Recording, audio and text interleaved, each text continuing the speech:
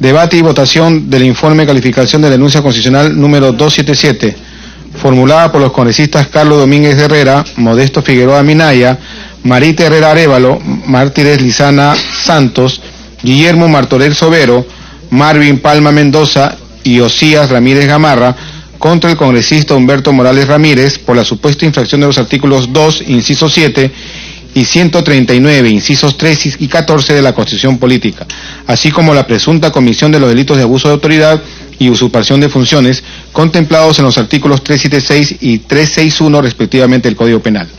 Resumen. Se le denuncia al congresista Morales Ramírez debido a que en su condición de vicepresidente y miembro de la Comisión Lavallato solicitó al Pleno del Congreso exponer su informe en minoría y porque en dicho informe habría consignado a los denunciantes como presuntos partícipes, partícipes de actos ilícitos e irregulares, sin previamente haberles comunicado ni notificado el inicio de las investigaciones, ni que estarían inmersos en la misma. Se declara la improcedencia porque de los hechos y anexos que se acompañan a la denuncia se advierte que el denunciado no habría vulnerado la constitución política, ni habría cometido ilícitos, ya que es un congresista en funciones y además fue integrante de la Comisión Lavallato y como tal tenía facultad de presentar informe final en minoría, lo cual está enmarcado dentro del artículo 70 del reglamento del Congreso. Por lo tanto, el hecho que el congresista Morales Ramírez haya solicitado sustentar su informe minoría ante el Pleno del Congreso constituiría, constituiría parte del procedimiento parlamentario regular, y no significa que haya incurrido en la comisión de delitos y menos haber vulnerado la constitución política, motivo por el cual la subcomisión no debe abocarse a una investigación. Se solicita al secretario técnico dar lectura a la parte pertinente del informe de calificación. informe de calificación, denuncia constitucional número 277.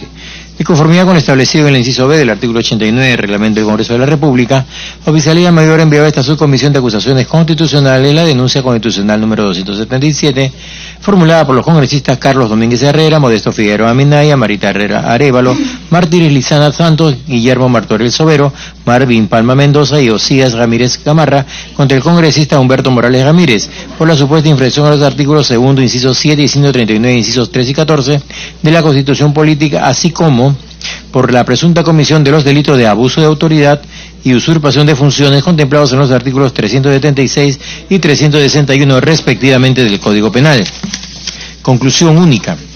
Por los argumentos expuestos en el análisis que antecede de conformidad con el inciso C del artículo 89 del Reglamento del Congreso de la República, la Subcomisión de Acusaciones Constitucionales declara improcedente la denuncia constitucional número 277, formulada por los congresistas Carlos Domínguez Herrera, Modesto Figueroa Minaya, Marita Herrera, Arevalo Martínez Lizana Santos, Guillermo Martorell Sobero, Marvin Palma Mendoza y Osías Ramírez Gamarra contra el congresista Humberto Morales Ramírez por la supuesta infracción a los artículos segundo, incisos 7 y 139, incisos 3 y 14 de la Constitución Política, así como por la presunta comisión de los delitos de abuso de autoridad y usurpación de funciones contemplados en los artículos 376 y 361 respectivamente del Código Penal, recomendando su archivo, Lima 1 de julio de 2019. ¿Algún congresista desea hacer uso de la palabra? Someto a votación la propuesta del informe de calificación de la denuncia constitucional número 277. Nominal. Congresista Sergio Dávila. A favor. Congresista Velázquez. Congresista Arana. A favor. Congresista Pacori. A favor. Congresista Beteta. Abstención. Congresista Alcalá. A favor. ¿Congresista Vázquez? A favor. A favor. Por mayoría, con cinco votos a favor y una abstención, se aprueba el informe de calificación número 277. Debate y votación del informe de calificación de la denuncia constitucional 278 formulada por el ciudadano Cecilio González contra la congresista Indira Wilka por la presunta, por la supuesta infracción a los artículos 1, 2, inciso 1, 2, 22, 23 y 24, literal H, 38, 39, 51, 93, 97, 102, inciso 2 y 166 de la Constitución Política, y por la presunta comisión del delito de discriminación. Resumen, el denunciante manifiesta que todos los días decenas de niñas, escolares y madres de familia sufren diversos actos de tocamientos, agresiones, violaciones y son asesinadas. Sin embargo, en dicho caso, la congresista denunciada solo se limita a indignarse y hacer declaraciones periodísticas rechazando dichos hechos. No obstante, cuando se trata de mujeres o personas extranjeras que trabajan para empresas millonarias, ponen mucho más énfasis en la atención de sus casos, sin importarle la situación de millones de peruanos que sufren en el país.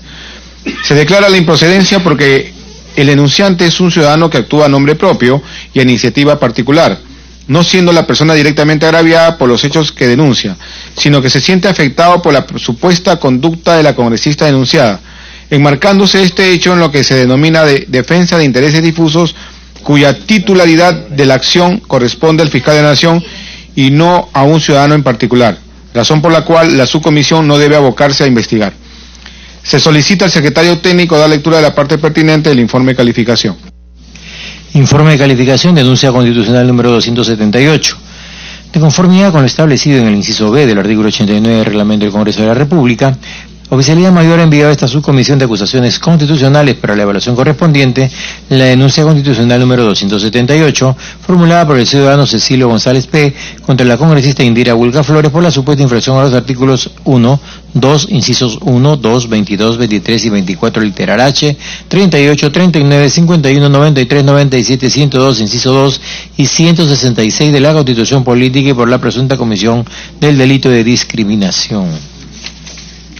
Conclusión, única por los argumentos expuestos en el análisis que antecede de conformidad con los incisos A y C del artículo 89 del Reglamento del Congreso de la República, la Subcomisión de Acusaciones Constitucionales declara improcedente la denuncia constitucional número 278 formulada por el ciudadano Cecilio González P. contra la congresista Indira Wilca Flores por la supuesta infracción a los artículos 1, 2, inciso 1, 2, 22, 23 y 24 literal H, 38, 39, 51, 93, 97, 102, inciso 2 y 166 de la Constitución Política y por la presunta comisión del delito de discriminación recomendado su archivo Lima 1 de julio de 2019. ¿Algún congresista desea hacer uso de la palabra? No habiendo se solicitado el uso de la palabra, someto a votación la propuesta del informe de calificación de la denuncia constitucional 278.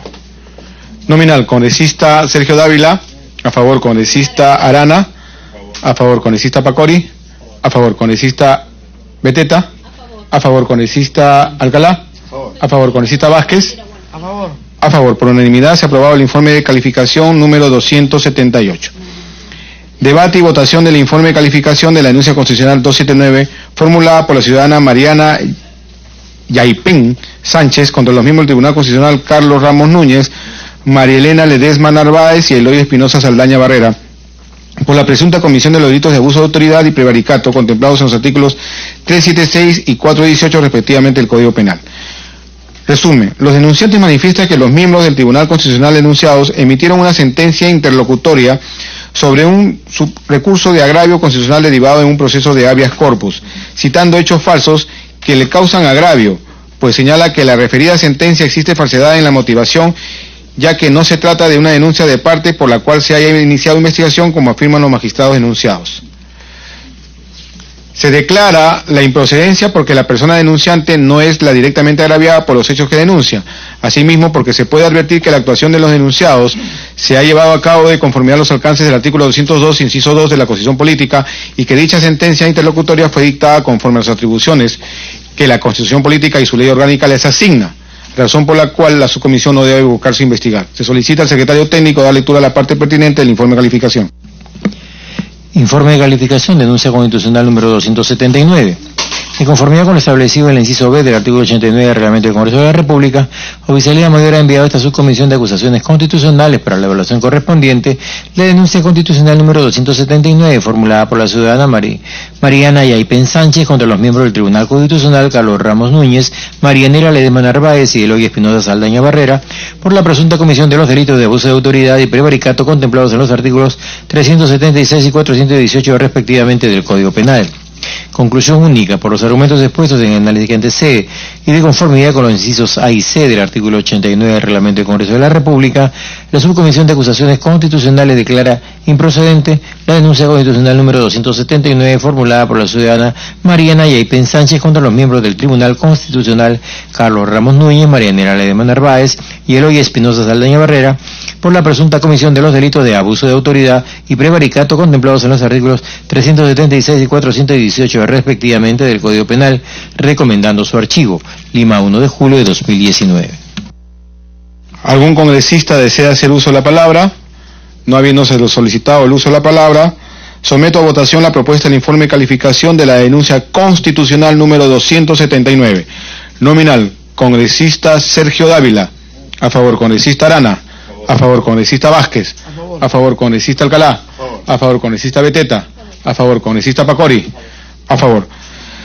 Por unanimidad se aprobó eh, el informe de calificación 279. Eh, un ratito, un ratito, un ratito, por favor. Congresistas, esta subcomisión de acusaciones constitucionales en, lo, en este año, durante el periodo 2018-2019, ha calificado 184 denuncias constitucionales, lo cual agradezco a ustedes por permitirnos desarrollar un trabajo bastante loable y eh, habiendo participado en todas, en la mayoría de estas sesiones, la cual también ha superado el número de 180, perdón, de 35 sesiones, lo cual triplica lo realizado en los últimos siete años en el Congreso de la República por parte de esta subcomisión.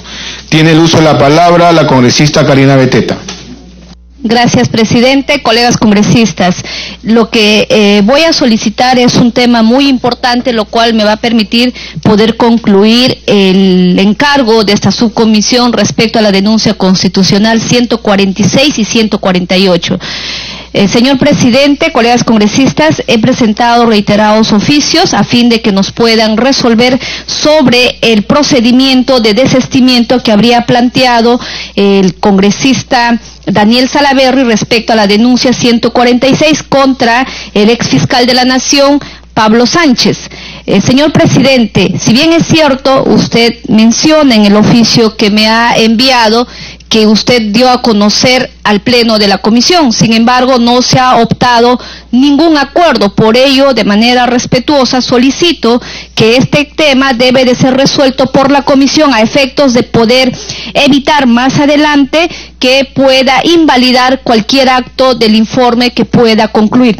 Presidente, le digo eh, por dos temas. Primero, respecto del procedimiento para desistimiento de una denuncia constitucional. De acuerdo al artículo 340 del Código Procesal Civil, eh, se dice que el desistimiento puede ser del proceso, de algún acto procesal y de la pretensión. Y el, artículo 341, aspectos generales del desistimiento. El desistimiento no se presume, el escrito que lo contiene debe precisar su contenido y alcance legalizando su firma el proponente ante el secretario respectivo. El desistimiento es incondicional y solo perjudica a quien lo hace. Por ello, señor presidente, para evitarnos que más adelante el presidente hoy y antes congresista, quien formuló en su, en su condición de congresista de la República, el señor Daniel Salaverri, debería de eh, presentarnos formalmente el desistimiento con un, eh, una declaración jurada ante el notario público. ¿Por qué digo, señor presidente? Porque luego, más adelante, no vaya a traernos sorpresa y decir que él no es su firma, sino que no sabe quién le hizo la firma. Entonces, para evitarnos ello, señor presidente, yo pediría que este tema debería de ser eh, regularizado y a fin de poder continuar con el procedimiento que me corresponde como delegada de esta denuncia constitucional 146. Eh, por eso es lo que pido que usted, en todo caso, someta a votación eh, la consideración que estoy planteando. Si es un acuerdo de la comisión, entonces tendrá que eh, asumirse la comisión. Estamos en un congresista Marco Arana. Gracias, presidente. Ya sé, ya se eh, respondió, ya se ha puesto en conocimiento, por lo que le voy a pedirle al secretario técnico que por favor dé lectura. Presidente.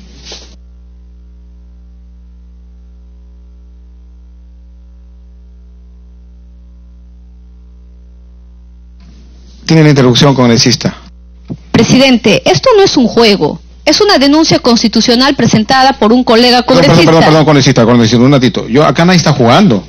Nosotros hemos, sus documentos, como a todos los congresistas acá presentes, se les contesta. Y, y una exigencia de esta presidencia es contestar en el mínimo plazo.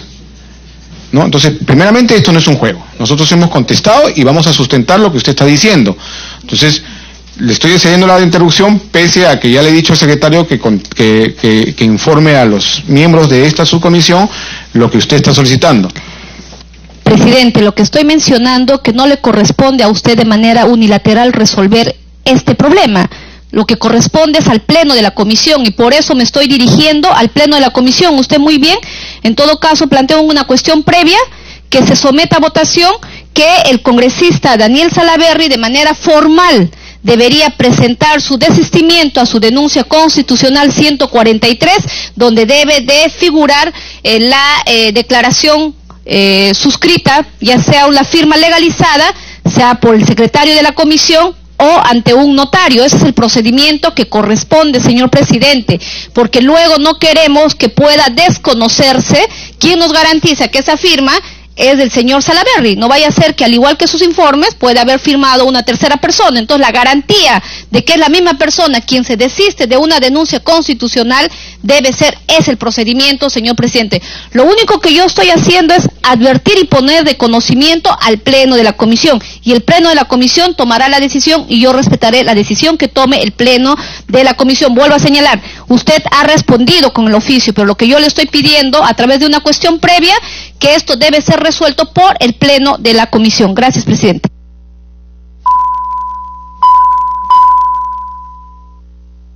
Como no es unilateral, vamos a poner en conocimiento la respuesta al oficio 470-2018-2019 del despacho de la congresista Karina Beteta. Secretario, por favor, de lectura. Oficio número 342-2018-2019-SCAC-CR, Lima 26 de junio de 2019. Congresista de la República, Karina Beteta Rubín, delegada de las denuncias constitucionales 146 y 148 acumuladas. Presente. Me dirijo a usted a fin de saludarla cordialmente y, a la vez, informarle respecto a lo solicitado en el oficio de la referencia.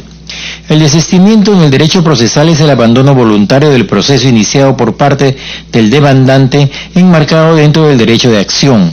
El accionante decide, de propia iniciativa, apartarse del proceso que iniciara como sujeto activo, amparado en el principio de impulso de parte, abandonando voluntariamente su pretensión. 2.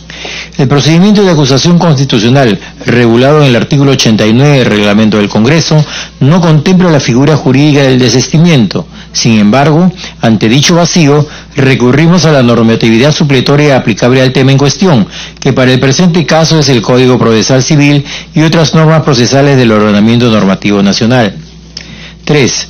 El artículo 340 del Código Procesal Civil contempla como uno de los tipos de desistimiento el de la pretensión, supuesto que se adecúa al procedimiento de acusación constitucional, pues en los casos puestos a consideración de la subcomisión sobre la materia, los denunciantes, en particular el caso del congresista Daniel Salaverry, plantea su desistimiento a efecto de sustraerse de su pretensión, pues no desea continuar con el desarrollo del procedimiento y, en determinados casos, explicitan su deseo que las denuncias constitucionales promovidas por ellos inicialmente se archiven. 4. Otra importante característica del desistimiento a considerar dentro del procedimiento de acusación constitucional es el hecho de que el desistimiento no se supone ni presume, sino que se explicita de manera clara, inequívoca y documentaria. Además, su naturaleza es incondicional y solo afecta a quien lo plantea. Es importante señalar que al interior del desarrollo procedimental de una denuncia constitucional, la acción es promovida a iniciativa de parte. En tal virtud, los miembros de la subcomisión no pueden formular denuncia constitucional, así como tampoco subrogarse en alguna de ellas. En concordancia con lo señalado, debe indicarse que la subcomisión no actúa de oficio, ya que no promueve ni impulsa denuncias constitucionales, pues así lo establece el propio artículo reglamentario. 5. De otro lado, un aspecto sumamente importante a tener en cuenta cuando aplicamos supletoriamente la norma del Código Procesal Civil y de singular relevancia para el tratamiento y aplicación de esta figura procedimental en el desarrollo del procedimiento de acusación constitucional es que el desistimiento del proceso del acto procesal se interpone antes de que la situación procesal que se renuncia haya producido efecto. 6. En el caso del desistimiento presentado, entiéndase en la denuncia número 146 formulada por el congresista Salave Rivilla, esta se encuentra en pleno desarrollo procedimental. Se tramitó antes de la realización de audiencia, lo que evidencia que aún no ha concluido y no ha surtido efectos. Debe entenderse que el procedimiento ha concluido específicamente en la subcomisión de acusaciones constitucionales cuando el colegiado de la subcomisión debate y vota la propuesta de informe final, acto que pone fin al procedimiento a nivel de la subcomisión, antes de ser derivado a la comisión permanente. En tal contexto, el desistimiento resulta perfectamente válido y aplicable, pues se enmarca en el presupuesto normativo establecido en el artículo 342 del Código Procesal Civil. 7. En razón de lo expresado, la solicitud de desestimiento presentada por el congresista Salave Rivilla fue tramitada y dado cuenta en la sexta sesión ordinaria de la subcomisión realizada el 11 de marzo del año en curso. Posteriormente, en la novena sesión ordinaria de la subcomisión realizada el 20 de mayo de 2019, inicialmente en la estación de informes, mi presidencia informó que el congresista Daniel Salave Rivilla, mediante oficio número 360-2018-2019 barra DSB-CR, se desistió de su denuncia y seguidamente en la estación de orden del día antes del inicio de la audiencia de las denuncias constitucionales número 146 y 148 acumuladas, de la cual usted es delegada, la presidencia señaló lo siguiente. Cito. La presidencia recuerda que en la sesión informes se indicó que el congresista Daniel Salaver Rivilla, denunciante de la denuncia constitucional número 146, formuló su desestimiento a la misma, la que fue tramitada y dado cuenta oportunamente.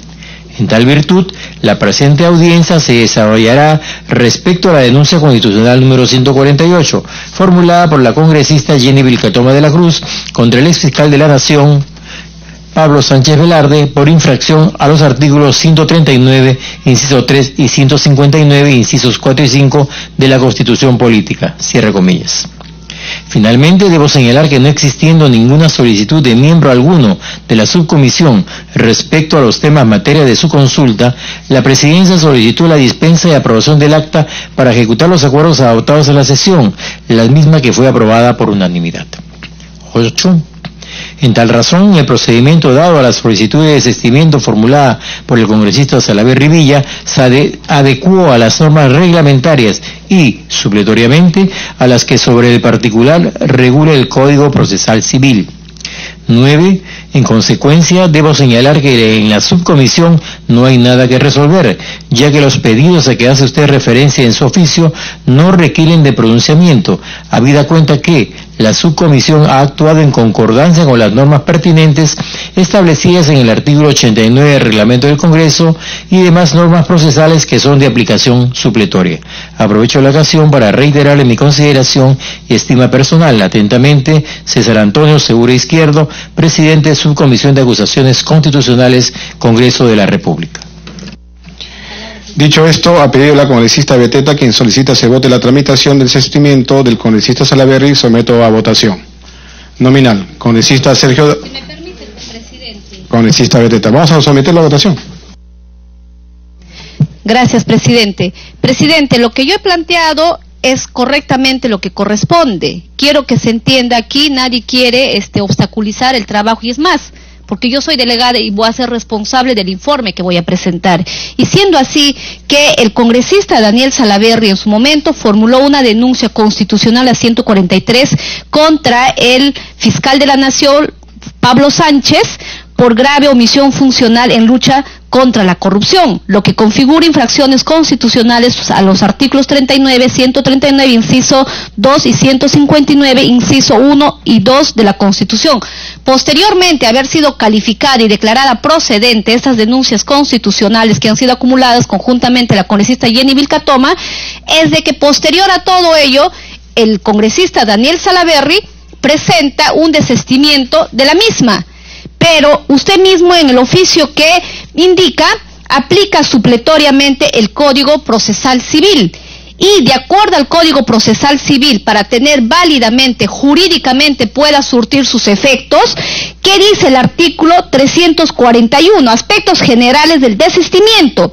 El desistimiento no se presume. El escrito que lo contiene debe precisar su contenido y alcance legalizando su firma el proponente ante el secretario respectivo que puede hacerlo ante la Secretaría de la Subcomisión de Acusaciones Constitucionales o ante el notario público. Y lo digo esto porque, presidente, porque más adelante no vaya a ser que luego que se tome una decisión la subcomisión, aparezca el congresista Daniel Salaverry y diga que esto no es mi firma. Entonces, esto no es un juego, decía en ese sentido, por la denuncia que se presenta. Entonces, para que nosotros podamos tener la convicción que sí es la voluntad del congresista Salaverry de asistirse de esa denuncia constitucional, debería hacerlo este formalismo. ¿Para qué? Para evitar nulidades posteriores al informe final que se tiene que someter y serán los colegas congresistas quienes van a votar. Solamente eso es lo que yo he estado solicitando, presidente, ya que si bien es cierto, usted ha respondido y por eso decía que es una decisión unilateral al responder un oficio en su condición de presidente. Pero qué mejor sería esto que se tome una decisión como comisión y si la comisión dice que es suficiente con la presentación del escrito del señor Salaverry del desestimiento de su denuncia constitucional, será esa la decisión de esta subcomisión. Solamente estamos pidiendo a fin de poder resguardar la seguridad jurídica máxima si se tome en cuenta que el propio denunciado habría solicitado que se declare la nulidad porque habían presentado un desestimiento. Entonces, por ello, señor presidente, que estoy haciendo este pedido en aras de que podamos tomar una eh, decisión y en función a ello continuar con el procedimiento que corresponde. Gracias, presidente. Gracias, congresista. Eh, para manifestar también que el trámite eh, de este desistimiento llegó por la ventanilla de trámite documentario, ¿no? Ok, bueno, vamos a someter a votación el pedido de la congresista Beteta, quien solicita se vote la tramitación del desistimiento del congresista Salaverry. La, la tramitación del, documento este, solicitado, eh, solicitando su desistimiento congresista Salaverry del caso 141. 146, sí. Sí, lo que para los colegas congresistas que están pidiendo para que puedan asumir una votación este, correcta, lo que estoy pidiendo es de que si la comisión acepta, con el simple documento que ha presentado el señor Daniel Salaverry respecto de su desistimiento a la denuncia constitucional contra el ex fiscal de la Nación, Pablo Sánchez. Entonces, porque si el presidente de la comisión al responder su oficio me dice que ha sido en función, que se debe tomar en función, eh, aplicando supletoriamente el Código Procesal Civil y el Código Procesal Civil, el procedimiento es de que cuando tú presentas un desestimiento, tiene que acompañar una firma legalizada ante el secretario. De lo contrario, vas al eh, notario público y tú legalizas tu firma que estás desestimiendo. ¿Para qué? Para evitar que luego pueda decir la persona denunciante, esto no es mi firma. Y ahí vamos a acarrear nulidad a la decisión más adelante que vayamos a tomar. Solamente estoy pidiendo que se formalice eso y salvo que la comisión diga que es suficiente el documento de desistimiento que ha presentado, nosotros lo tomamos a bien y decimos que es, y ahí con eso continúa, será la decisión de la comisión. Me pide una interrupción el congresista Velázquez Quesquén. Tiene la interrupción. No, breve, presidente. Yo la, y yo le doy la razón a la congresista Karina Beteta. Eh, en un procedimiento sancionador, cuando, eh, y en este caso que hay una investigación en curso, cuando alguien se desiste, eh, la ley obliga a que sea con firma legalizada. Pero en este caso puede ser la firma fedateada por el fedatario del Congreso. Pero no puede ser así sencillamente, presidente. Además, eh, creo, eh, como no está regulado el desistimiento de estos procedimientos, creo que esto tiene un impacto porque ya hay una investigación en curso, ¿no? Por eso yo estaría de acuerdo con lo que plantea Karina Betete en el sentido de que si no es desistimiento con firma legalizada, por lo menos eh, firma fedateada por el, el, fedatario del Congreso, ¿no? De acuerdo, congresista, pero se tiene que votar la tramitación, no el desistimiento porque esa, esa, esa parte es una prerrogativa de parte, es una decisión del congresista. Eso no se puede votar. Tenemos que votar la tramitación. ¿No es cierto? Eso es lo que estamos, estamos de acuerdo. Correcto. Perfecto. Sí. Correcto. Mejor. Listo. Perfecto. Para evitar problemas. Aunque un congresista no necesita legalizar su firma, pero... Ok, sí, pues por lo que no está estipulado en el reglamento. Tiene razón. Entonces vamos a votar esta cuestión previa para que se devuelva el documento y tenga la firma fedateada por el congresista. ¿Correcto? Regularice su firma. Ya, listo. Congresista Sergio Dávila. A favor. Congresista Velázquez. A favor. Congresista este, Arana. En contra. Congresista Vázquez. A favor. A favor. Congresista Alcalá. A favor. A favor. Congresista Beteta. A favor. Congresista Pacorí. A favor. Por mayoría, seis votos a favor, uno en contra, se ha aprobado la cuestión previa presentado por la congresista Karina Beteta. No habiendo otro tema a tratar, solicito a los señores congresistas la dispensa del trámite de aprobación del acta para poder ejecutar los acuerdos adoptados en la presente sesión. Por unanimidad, siendo las 12 y 25, se levanta la sesión. Gracias, señores congresistas.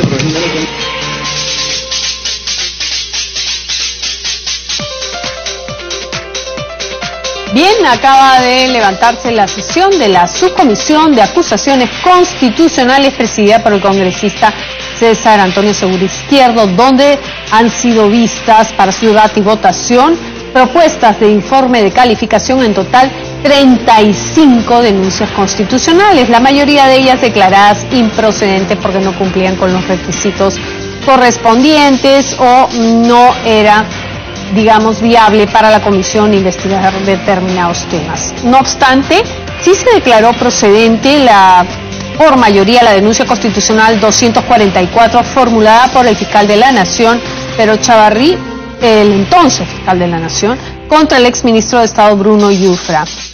Además, eh, también se declaró por mayoría procedente la denuncia constitucional 246 formulada por la congresista Janet Sánchez contra la congresista Maritza García Jiménez. Hay que indicar también que fue planteada una cuestión previa mm, por el congresista Sergio Dávila, que fue aprobada finalmente por mayoría la inadmisibilidad eh, de la denuncia constitucional 247 formulada por el entonces fiscal supremo, por el fiscal supremo Pablo Sánchez Velarde contra los exmiembros del Consejo Nacional de la Magistratura, Guido Aguila, Julio Gutiérrez Pebe, Iván Noguera, Orlando Velázquez Benítez y el vocal supremo César Inostroza Pariachi. Eh, al respecto, el titular de la Subcomisión de Acusaciones Constitucionales, el congresista César Segura, dijo que hoy mismo va a notificar a la fiscal y tiene tres días para subsanar este documento de inadmisibilidad, eh, precisamente eh, con relación al tema mencionado. Bien, en total, eh, dijo el titular de la subcomisión, han sido vistas este último año 184 denuncias constitucionales. Saludó la labor de todos sus integrantes y del equipo técnico de la subcomisión de acusaciones constitucionales. Hay que señalar también que el día de hoy, a partir de las 3 de la tarde, pues eh, va a sesionar en el hemiciclo de sesiones del Parlamento Nacional la eh, Comisión de Constitución y Reglamento que preside la congresista Rosa María Bartra. Se ha invitado al eh, presidente del Consejo de Ministros Salvador del Solar y al ministro de Justicia y Derechos Humanos Vicente Ceballos Salinas. Ambos van a exponer los alcances del proyecto de ley 4187 referido a democracia interna de las organizaciones políticas. Y por supuesto este tema, luego de esta exposición, también se va a poner a debate eh, con los integrantes de este grupo dictaminador. Son iniciativas del Grupo Parlamentario para el Progreso, Alianza para el Progreso, no agrupados, Grupo Parlamentario Acción Popular y también del Poder Ejecutivo con carácter de urgencia.